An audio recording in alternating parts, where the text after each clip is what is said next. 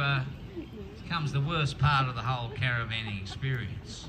You designated your site, you've got this pokey little bloody site with a gum tree on one side of you, a fifth wheeler over here, there's a fire hose behind you, and 40 people at happy hour watching you. and it can get a bit stressful in the old marital relationship. Now, if you want to see fireworks between a woman and a man, get on down to the caravan park. They're backing in the van, backing in the van, backing in the van.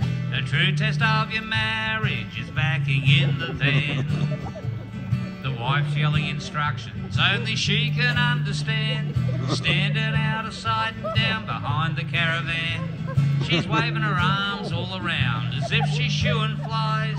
He'd like to tell her where to go, but it would be unwise. Sing along. We're backing in the van, backing in the van. The true test of your marriage is backing in the van. Now walkie-talkies and mobile phones are great reversing aids, and cameras are popular with the grey nomad brigade. Some couples work together, enjoy a marital bliss, but for some it ends in tears, fights and hissy fits. We're backing in the van, backing in. A true test of your marriage is backing in the van. Now left hand down, right hand down can get downright confusing, especially with an audience who find it quite amusing.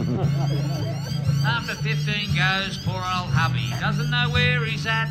He tries to straighten up and backs over the water tap. now Neville, the know-it-all, has suddenly appeared, he's offering advice that hubby doesn't want to hear. Old hubby's shaping up the Nev. I think he's lost the plot, but the wife has had enough and whacks hubby across the chops. We're backing in the van, backing in the van. A true test of your marriage is backing in the van. Ah.